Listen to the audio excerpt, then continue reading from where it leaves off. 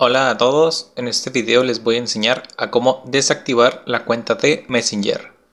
Para ello, lo primero que vamos a hacer será entrar en la aplicación de Messenger y aquí vamos a estar dentro del menú principal. Después vamos a presionar en nuestro icono de perfil que se encuentra en la parte de arriba. Ahora se va a mostrar este menú. Luego vamos a presionar en donde dice propiedad y control de la cuenta.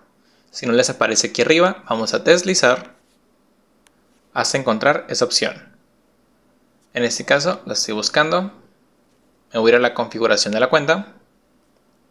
Ahora vamos a buscar propiedad y control de la cuenta. Como lo ves, aparece en esta sección de tu información. Presionamos aquí. Y luego tenemos dos opciones.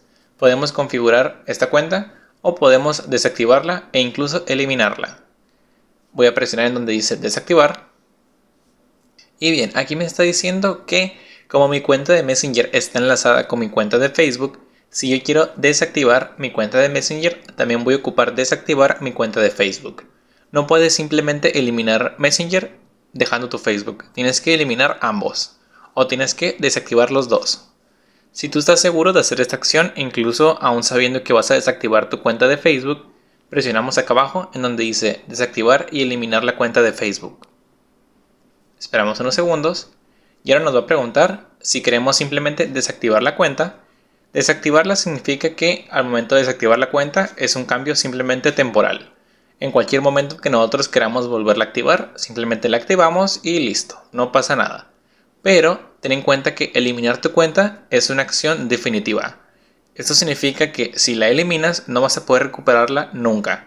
Se va a eliminar, toda tu información se va a borrar, todos tus mensajes y no vas a poder recuperar nada. Entonces ten mucho cuidado de no eliminar tu cuenta si no estás 100% seguro de que eso es lo que quieres hacer. En este caso, vamos a suponer que solo queremos desactivar la cuenta. Presionen donde dice continuar con la desactivación de la cuenta. Y ahora me va a preguntar el por qué quiero desactivar mi cuenta. Presionen continuar y ya, al final continúas, te va a pedir que ingreses tu contraseña y listo.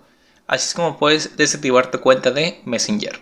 Esto fue todo por este video, deja tu like, suscríbete y si tienes una duda, déjala abajo en los comentarios.